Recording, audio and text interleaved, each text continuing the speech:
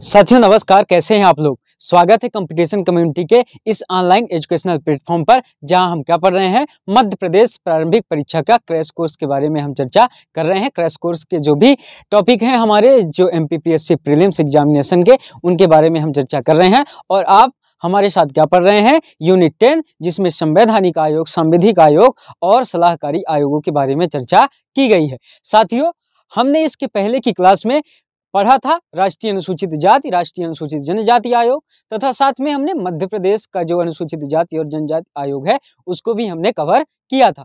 आज हम उसी के एमसीक्यू के तहत ये चर्चा करेंगे, ये हम देखेंगे कि जो हमने क्लास में पढ़ा, वो चीज़ें कितनी हमको याद हैं, और एमसीक्यू के तहत ये समझेंगे कि एग्ज़ाम में कैसे क्वेश्चन पूछे जाते हैं। एग्ज़ाम में क्वेश्चन पूछने का आयाम क्या होता है?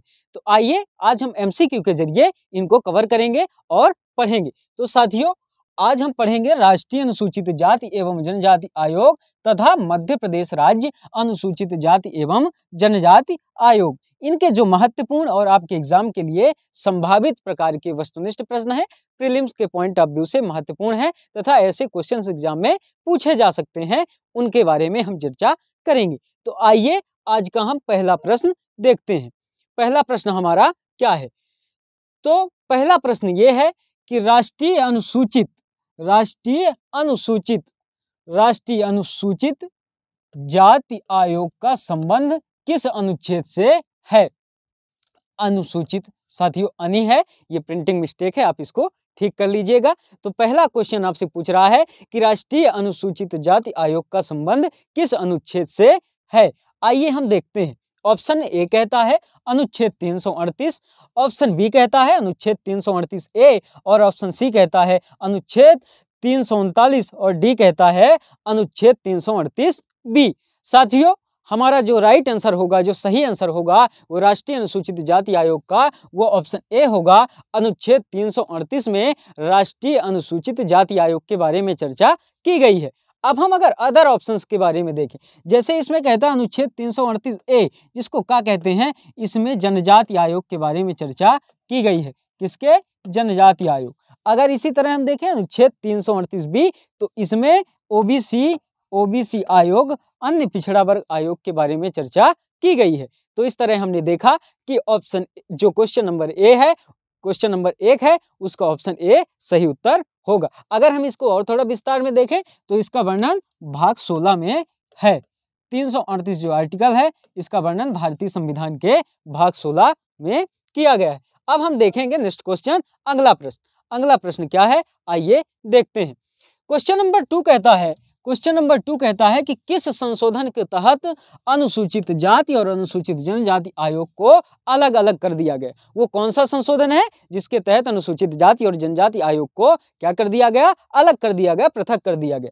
ऑप्शन ए में कहता है नवासीवा संविधान संशोधन। डी में कहता बी में कहता है चौरासीवा संशोधन। सी में कहता है पचासीवा संशोधन और डी में कहता है छियासीवे संविधान संशोधन के तहत। साथियों, जो इसका सही आंसर है, जो इसका राइट आंसर है, वो होगा ऑप्शन ए नवासीवा संविधान संशोधन, जो कब हुआ? 2018 में और इसी के तहत एस सी आयोग अलग अलग हो गए। राष्ट्रीय अनुसूचित जाति आयोग और राष्ट्रीय अनुसूचित जनजाति आयोग, जो पहले साथ में संस्था थी, उनका पृथककरण हो गया, वो अलग अलग हो गए। और अगर हम इनकी स्थापना की बात करें तो 19 फरवरी 2004 को 19 फरवरी 2004 को इसकी स्थापना हुई राष्ट्रीय अनुसूचित जाति आयोग की। इसी तरह अनुसूचित जनजाति आयोग की भी स्थापना इसी समय की गई। आइए हम बढ़ते हैं आज के अगले प्रश्न और नेक्स्ट क्वेश्चन की ओर। प्रश्न नंबर तीन, क्वेश्चन नंबर थ्री ये कहता है कि राष्ट्रीय अनुसूचित जाति आयोग के अध्यक्ष व सदस्यों की नियुक्ति कौन करता है? नियुक्ति के बारे में पूछ रहा है, कह रहा है कि राष्ट्रीय अनुसूचित जाति आयोग के अध्यक्ष एवं सदस्यों की नियुक्ति कौन करता है? आइए ऑप्शन देखें और फिर हम सही उत्तर बताएँगे। आपका ऑप्शन ए में है राष्ट्रपति, बी में है केंद्र सरकार द्वारा, सी में है लोकसभा अध्यक्ष और डी में सामाजिक न्याय एवं अधिकारिता मंत्रालय द्वारा। साथियों जो इसका सही आंसर है, जो इसका राइट आंसर है, वो होगा ऑप्शन ए राष्ट्रपति जी को यह अधिकार है कि वो इनके अध्यक्ष सदस्यों की नियुक्ति करते हैं। अब हम बढ़ते हैं अगले प्रश्न की ओर नेक्स्ट क्वेश्चन की ओर। आइए देखते हैं प्रश्न नंबर चार। क्वेश्चन नंबर फोर ये कहता है कि राष्ट्रीय अनुसूचित जाति आयोग की संरचना है। राष्ट्रीय अनुसूचित जाति आयोग की संरचना कैसी है, उसके बारे में क्वेश्चन पूछ रहा है। आपके ऑप्शन ए में कहता है कि एक अध्यक्ष, एक उपाध्यक्ष एवं पाँच अन्य सदस्य। बी में कहता है एक अध्यक्ष, एक उपाध्यक्ष, चार अन्य सदस्य। और सी में कहता है एक अध्यक्ष व दो उपाध्यक्ष एवं पाँच अन्य सदस्य। और आपके ऑप्शन डी में कहता है एक अध्यक्ष, एक उपाध्यक्ष एवं तीन अन्य सदस्य होते हैं। साथियों जो इसका सही आंसर है, जो इसका राइट आंसर है, अभी तक आप इसका पता कर पाए होंगे, पता कर चुके होंगे। ऑप्शन डी जो इसका है, वो राइट आंसर है, क्योंकि हम जानते हैं कि एक अध्यक्ष, एक उपाध्यक्ष एवं तीन अन्य सदस्य होते हैं। इस प्रकार ये कुल मिला के एक पाँच सदस्यीय निकाय है और अगर पाँच सदस्यीय है तो हम इसे बहुसदस्यीय निकाय भी कह सकते हैं, क्योंकि आपके एग्ज़ाम में कई बार क्वेश्चन ऐसे पूछे जाते हैं। आपसे पूछा जाएगा कि अनुसूचित जाति आयोग कैसा निकाय है? एक सदस्यीय या बहुसदस्यीय तो आप बताएँगे कि अनुसूचित जाति आयोग जो है, राष्ट्रीय अनुसूचित जाति आयोग, वो बहुसदस्यीय निकाय है। इसमें कुल मिला के पाँच सदस्य होते हैं, जिनमें एक अध्यक्ष, एक उपाध्यक्ष एवं तीन अन्य सदस्य होते हैं। आइए, अब हम बढ़ते हैं आज के अगले प्रश्न की ओर। प्रश्न number five question number five question number five कहता है कि राष्ट्रीय अनुसूचित जाति आयोग के अध्यक्ष व सदस्यों के वेतन भत्ते किसके समान होते हैं? जो राष्ट्रीय अनुसूचित जाति आयोग के अध्यक्ष व सदस्यों को वेतन भत्ते दिए जाते हैं, वो किसके समान होते हैं? आइए ऑप्शन देखें और फिर उत्तर बताएँगे। ए में कहता है कि निर्वाचन आयोग बी में कहता है उच्चतम न्यायालय के न्यायाधीश सी में कहता है भारत सरकार के सचिव और डी कहता है भारत के सीएजी भारत के नियंत्रक एवं महालेखा परीक्षक। साथ ही जो इसका सही आंसर है, जो इसका राइट आंसर है, जब हमने क्लास में पढ़ा था, जब हमने डिटेल क्लास में चर्चा करी थी, उस समय हमने इनके बारे में चर्चा की थी। इनका जो वेतन भत्ते होते हैं वो होते हैं भारत सरकार के सचिव के समान। जो भारत सरकार के सचिवों को वेतन भत्ते दिए जाते हैं वही इनके अध्यक्ष सदस्य हों चाहे उपाध्यक्ष हों उनको भी इसी प्रकार का प्रावधान है और वो प्रावधान भारत सरकार के सचिव के समान है। इसलिए क्वेश्चन नंबर फाइव का ऑप्शन सी सही उत्तर होगा। अब हम बढ़ते हैं अगले प्रश्न की ओर और, और प्रश्न नंबर छह देखते हैं। प्रश्न नंबर सिक्स। क्वेश्चन नंबर छह कहता है कि राष्ट्रीय अनुसूचित जाति आयोग के अध्यक्ष एवं सदस्यों का कार्यकाल कितने वर्ष का होता है? कार्यकाल के बारे में पूछ रहा है कि कितना कार्यकाल इनका होता है, किसका? राष्ट्रीय आयोग के अध्यक्ष एवं सदस्यों का। तो ऑप्शन में हम देख के और सही उत्तर बताएँगे। ऑप्शन ए कहता है पाँच वर्ष, बी कहता है छह वर्ष, सी कहता है तीन वर्ष और डी कहता है चार वर्ष। साथियों, जो इसका सही उत्तर होगा, जो इसका राइट आंसर होगा, वो ऑप्शन सी होगा, क्योंकि इनका जो कार्यकाल होता है वो तीन वर्षों का होता है। अब हम आगे बढ़ते हैं अगले प्रश्न की ओर और, अगला प्रश्न देखते हैं प्रश्न नंबर सात question number seven question number seven में यह कहा गया है कि राष्ट्रीय अनुसूचित जाति आयोग के अध्यक्ष का दर्जा प्राप्त है। अध्यक्ष का जो दर्जा होता है वो किसके समान होता है इसके बारे में पूछा गया है। जब भी आप क्वेश्चन सॉल्व करें साथियों जो की पॉइंट है आप उनको अंडरलाइन करें और आप समझें क्योंकि कई बार हम अध्यक्ष लिखा है आप यहाँ कई बार सदस्य सोच के और आंसर देते हैं, इसलिए कई बार ऐसी मिस्टेक हो जाती हैं, गलतियाँ हो जाती हैं। जब भी हम क्वेश्चन सॉल्व करें, उस समय जो की पॉइंट है, उनको अंडरलाइन कर लें। जैसे कई बार क्वेश्चन में आता है कि इनमें से कौन सा नहीं है, और आप है मान के उत्तर लगा देते हैं। और फिर उसका खामियाजा हमें एग्ज़ाम में भुगतना पड़ता है। तो ये जो एमसीक्यू की सीरीज़ लाई गई है, जो ऐसे प्रैक्टिस कराए जा रहे हैं आपको तो इनसे ये तो पता चलता है कि एग्ज़ाम में कैसे क्वेश्चन आएँगे। साथ में ऐसी गलतियों को सुधार करने का भी एक अवसर होता है। तो बहरहाल, अब हम क्वेश्चन नंबर सेवन का ऑप्शन देखेंगे और आंसर देंगे। किसके समान दर्जा प्राप्त है? ए में कहता है केंद्रीय कैबिनेट मंत्री बी में कहता है केंद्रीय राज्य मंत्री और सी में कहता है भारत सरकार के सचिव।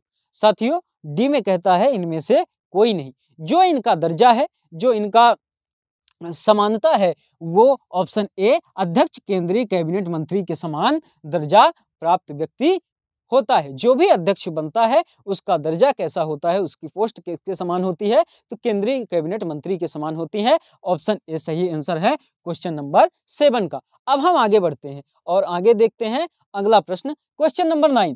Question number nine ये कहता है कि राष्ट्रीय अनुसूचित जाति आयोग के कर्तव्य का वर्णन किस अनुच्छेद में है? राष्ट्रीय अनुसूचित जाति आयोग के कर्तव्य का वर्णन भारतीय संविधान के किस आर्टिकल में किया गया है? इसके बारे में क्वेश्चन पूछ रहा है।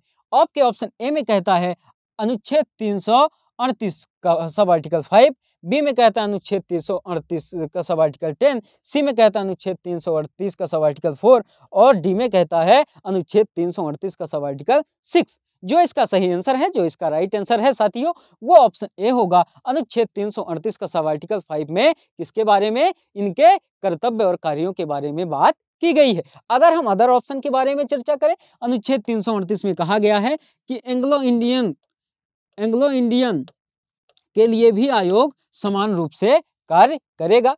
अनुच्छेद तीन सौ अड़तीस चार में कहा गया है कि ये अपनी कार्यवाही स्विनियमित करने के लिए इसको अधिकार अनुच्छेद तीन सौ चार के तहत है। और अगर हम छह के तहत देखें तो राष्ट्रपति रिपोर्ट सदन में पेश करेगा। इसके बारे में बात की गई है।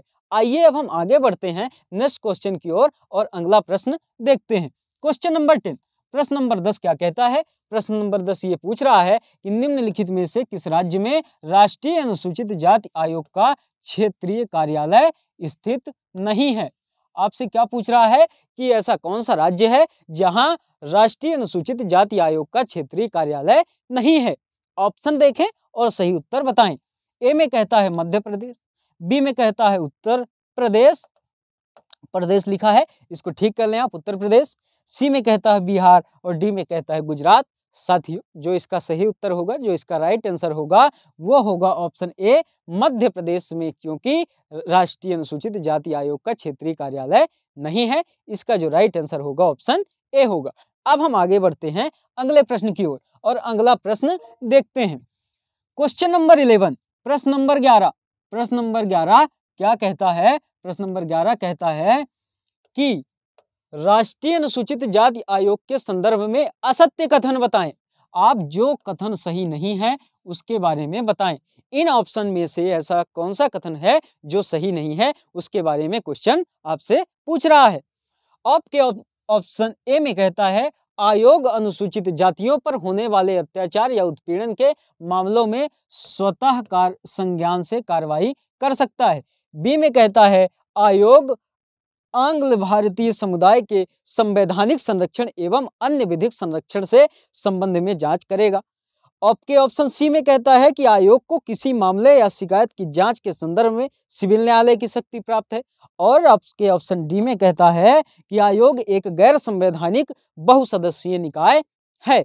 साथियों, जो इनके ऊपर के तीनों कथन है, चाहे कथन ए के बारे में बात करें कथन बी के बारे में बात करें और कथन सी के बारे में बात करें, ये तीनों कथन बिल्कुल सही हैं और आपका जो कथन डी है, ये गलत है और आपके क्वेश्चन में गलत कथन के बारे में ही पूछा जा रहा है। इसलिए अगर हम देखें, क्वेश्चन नंबर ग्यारह का जो सही उत्तर होगा, वो होगा ऑप्शन डी। अब ये क्यों सही होगा?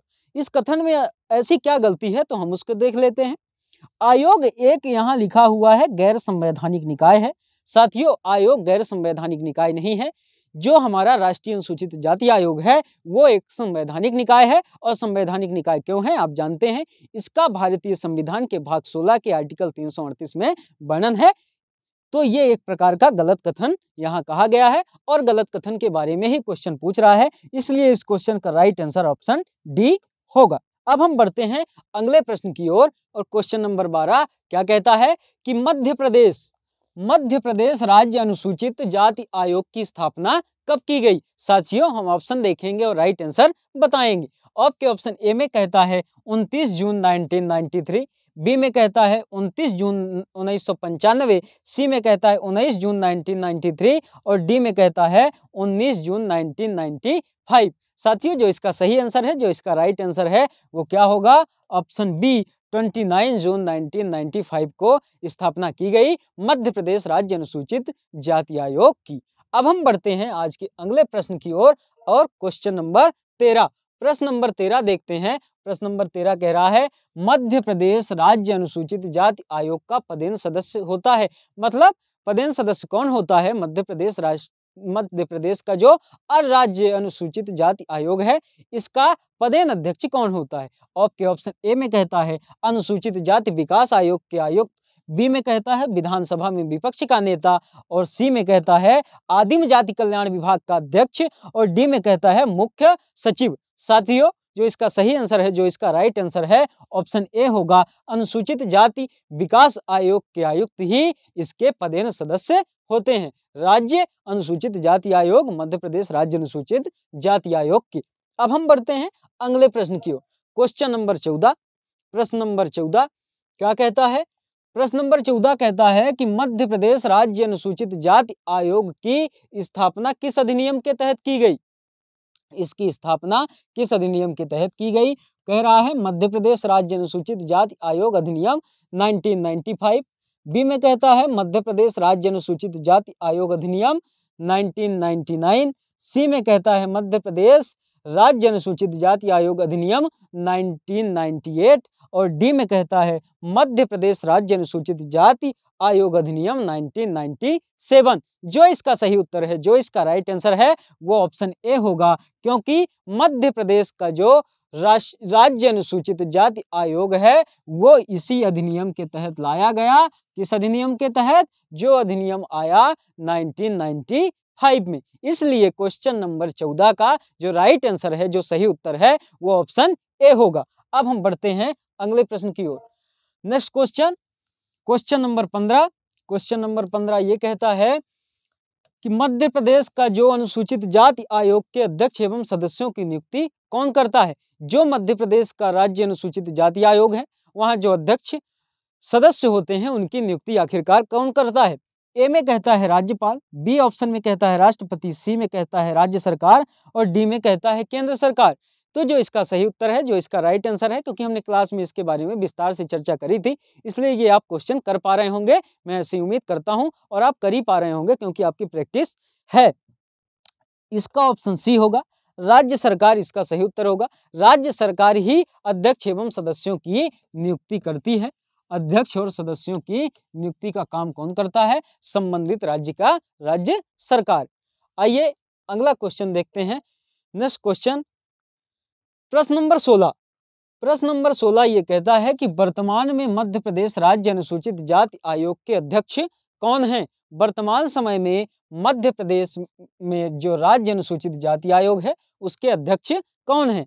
आपके ऑप्शन ए में है आनंद अहिरवार बी में कहता है रामशंकर कठेरिया सी में कहता है विजय सांपला और डी में कहता है भूपेंद्र सिंह आर्य। साथियों, जो इसका सही आंसर है, जो इसका राइट आंसर है ऑप्शन डी होगा भूपेंद्र सिंह आर्य जी को।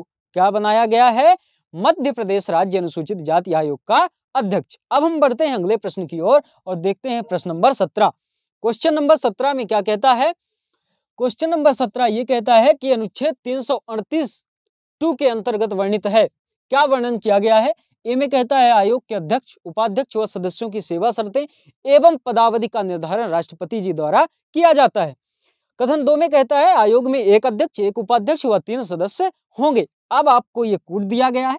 इसमें पूछ रहा है कि क्या केवल कथन एक सही है? बी में कहता है केवल दो सही है और सी में कहता है दोनों सही है। डी में कहता है इनमें से कोई सही नहीं है। साथियों, जी ये दोनों कथन है, वो दोनों सही है, इसलिए ऑप्शन सी इसका राइट आंसर होगा, ऑप्शन सी इसका सही उत्तर होगा। क्योंकि आयोग के अध्यक्ष, उपाध्यक्ष व सदस्यों की सेवा शर्तें निर्धारण का काम कौन करता है? राष्ट्रपति जी करते हैं। और इनकी संरचना के बारे में हमने बात करी ही कि इनमें एक अध्यक्ष, एक उपाध्यक्ष व तीन सदस्य होते हैं। इस प्रकार से कुल मिला के ये पाँच सदस्यीय निकाय, बहुसदस्यीय निकाय है। अब हम देख, बढ़ते हैं अगले नेक्स्ट क्वेश्चन की ओर।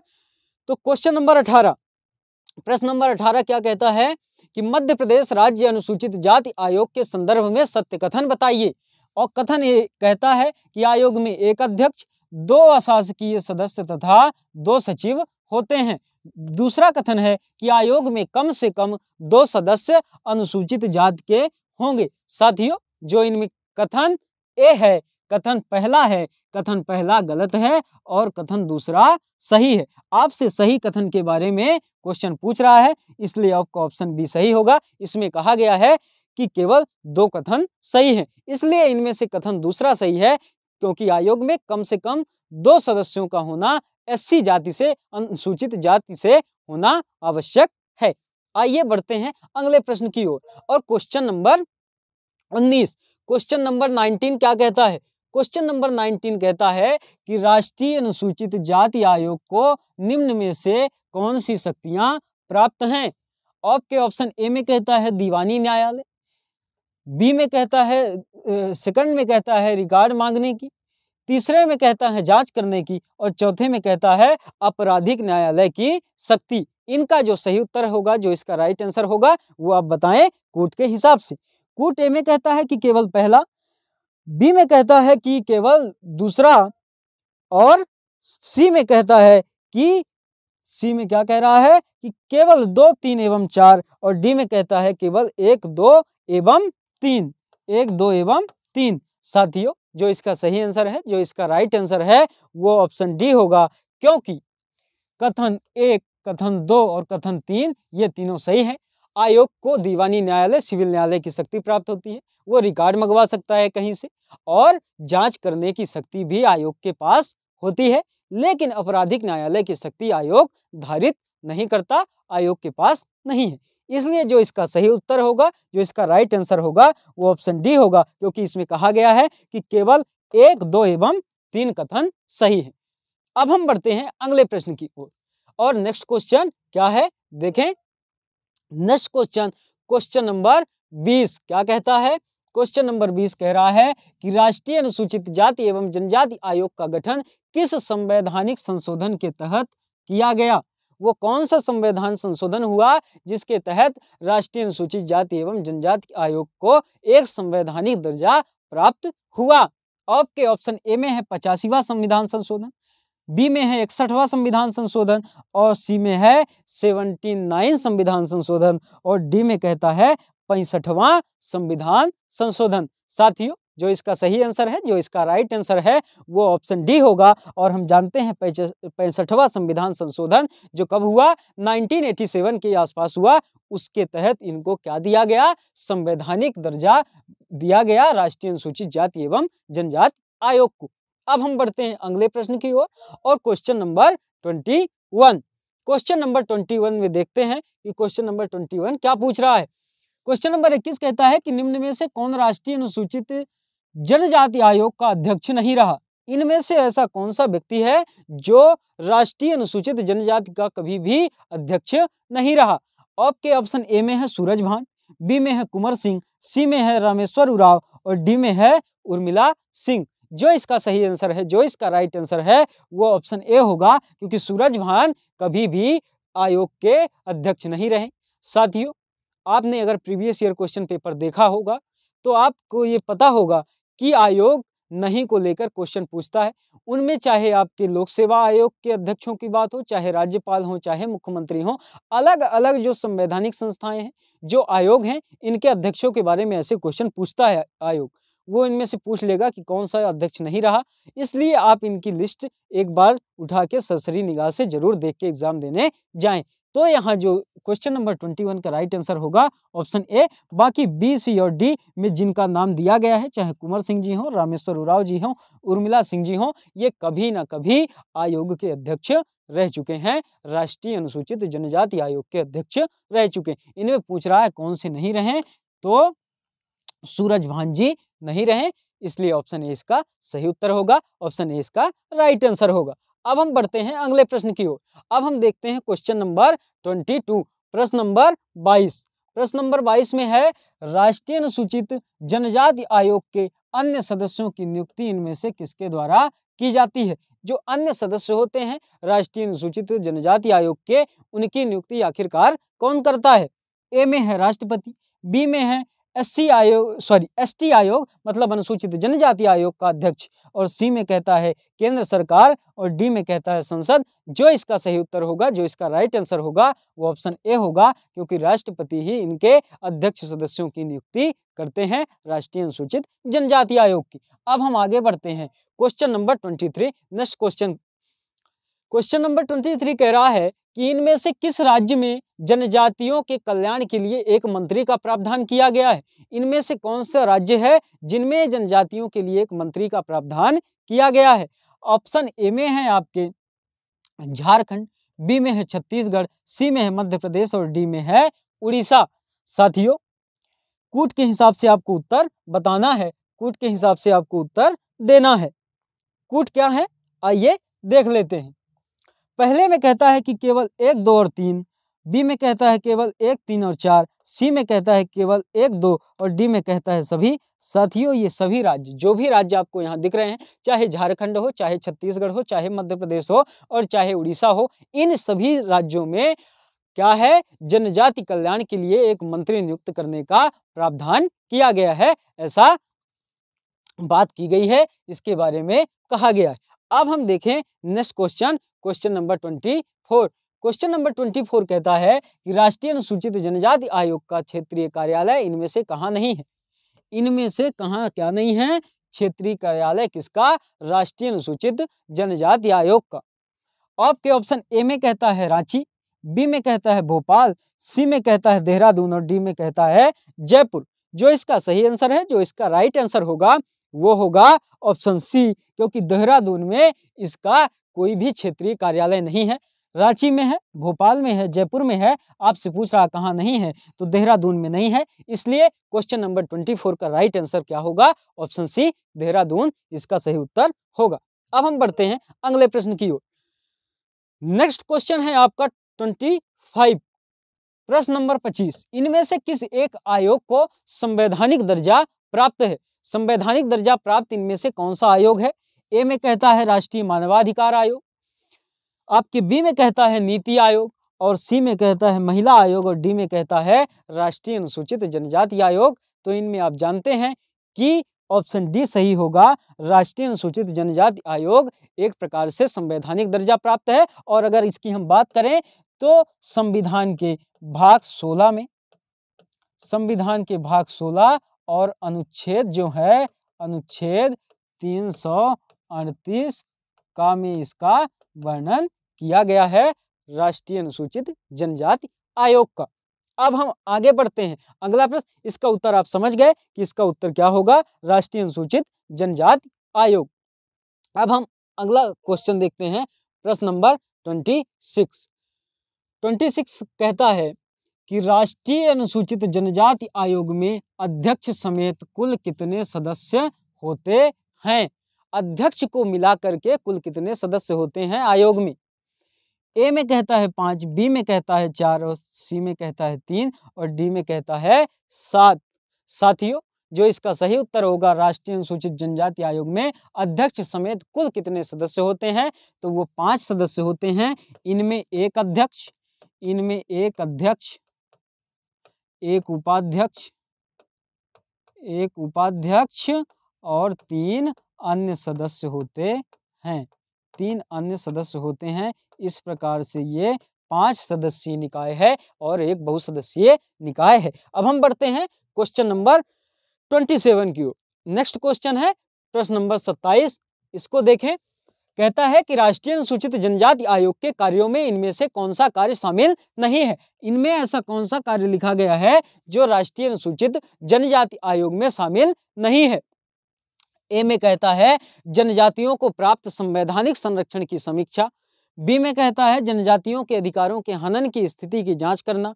सी में कहता है, जनजातियों के विरुद्ध अपराध की स्थिति में आपराधिक न्यायालय की शक्ति और डी में कहता है, राष्ट्रपति को जनजातीय मामलों का प्रतिवर्ष प्रतिवेदन सौंपना। इनमें जो कार्य है, ऑप्शन सी, ये नहीं है आयोग के कार्य क्षेत्र के अंतर्गत। क्योंकि इसमें कहा गया है कि आपराधिक न्यायालय की शक्ति तो आपराधिक न्यायालय की शक्ति आयोग के पास नहीं होती।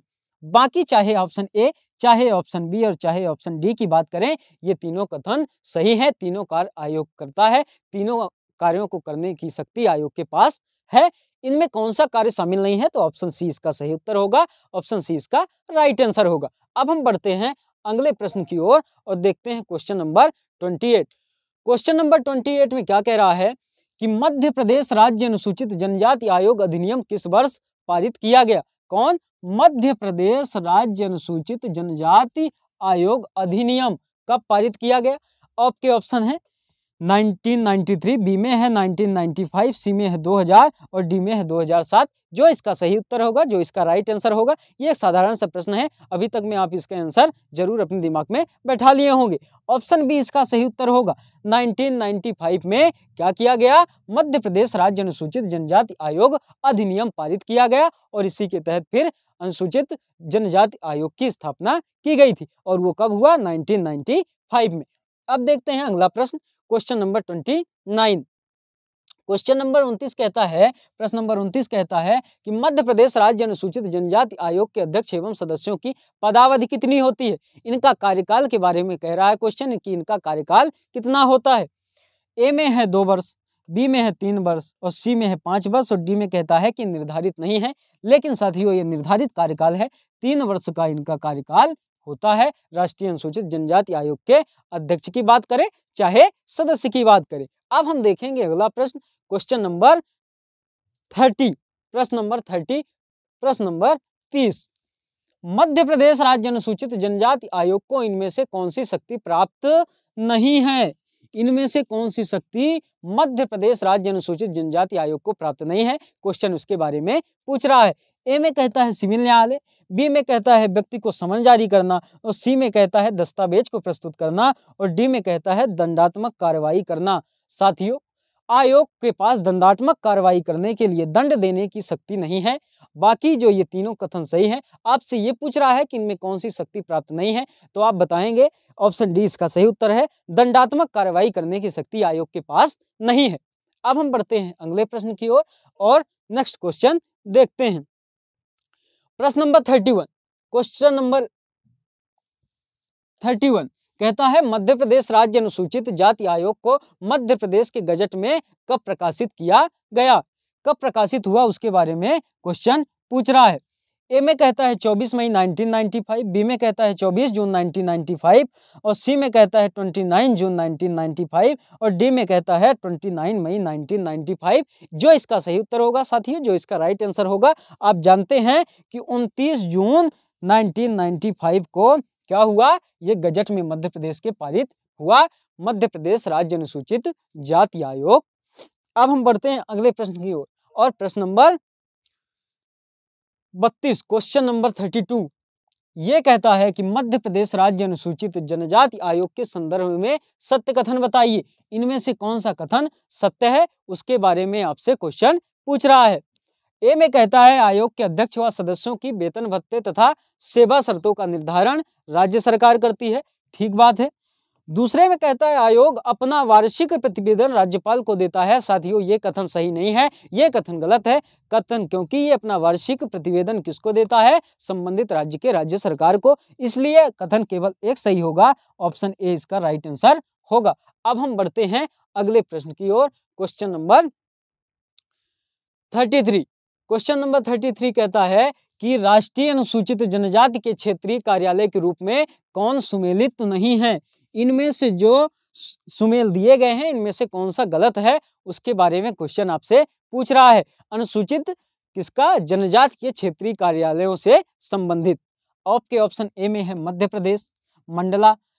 बी में कहता है उड़ीसा, भुवनेश्वर। सी में कहता है मेघालय, शिलांग। और डी में कहता है राजस्थान, जयपुर। साथियों, जो इसका ऑप्शन ए है, यही गलत है, क्योंकि मध्य प्रदेश का जो जनजाति का क्षेत्रीय कार्यालय है, वो कहाँ है? वो वर्तमान में भोपाल में है और यहाँ मंडला लिखा हुआ है। आपसे गलत सुमेलित के बारे में पूछ रहा था तो ऑप्शन ए इसका सही उत्तर होगा। बाकी ये तीनों सुमेलित हैं, चाहे उड़ीसा भुवनेश्वर की बात करें, मेघालय शिलांग की बात करें और राजस्थान जयपुर की बात करें, इनके जो अनुसूचित जनजातियों के क्षेत्रीय कार्यालय हैं, वो यही हैं।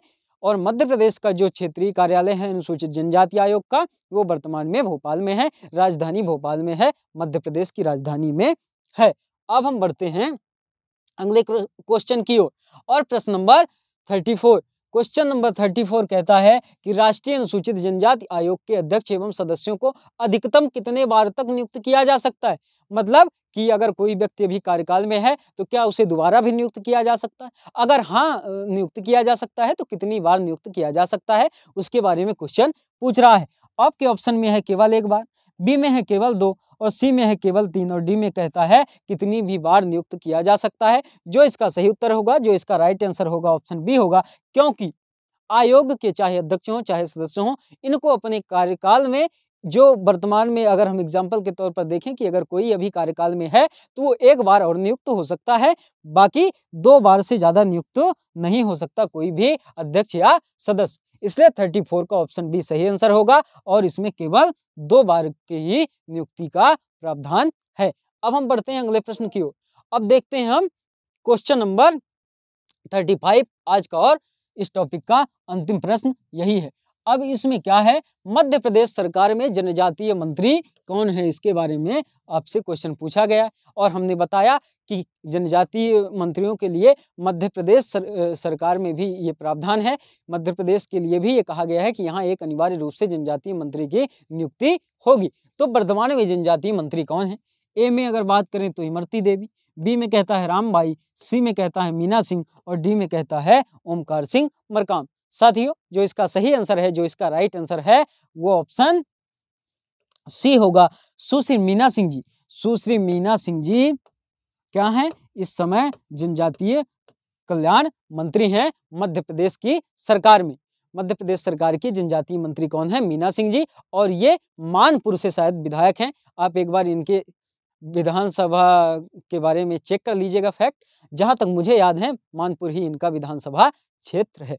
इस तरह साथियों, आज हमने पढ़ा एमसीक्यू के बारे में। हमने राष्ट्रीय अनुसूचित जाति, राष्ट्रीय अनुसूचित जनजाति और उसके बाद हमने मध्य प्रदेश के अनुसूचित जाति और जनजाति आयोग के जो महत्वपूर्ण एमसीक्यू थे और जो आपके एग्ज़ाम के लिए संभावित हैं, उनके बारे में हमने चर्चा करी। मैं उम्मीद करता हूँ कि आप इन क्वेश्चन आंसर सेशन के तहत, इस एमसीक्यू सीरीज़ के तहत ये समझ पा रहे होंगे कि किसी भी टॉपिक को पढ़ने के बाद जब हम क्वेश्चन सॉल्व करते हैं तो हमको ये पता लगता है कि क्वेश्चन कैसे आते हैं एग्ज़ाम में। तो एग्ज़ाम में क्वेश्चन आने का पैटर्न आपको समझ आ रहा होगा और हमारा प्रयास भी यही है कि आप एग्ज़ाम देने जाने से पहले इन सब चीज़ों से प्रिपेयर रहें, तैयार रहें कि एग्ज़ाम में इस टॉपिक से ऐसे क्वेश्चन पूछे जा सकते हैं।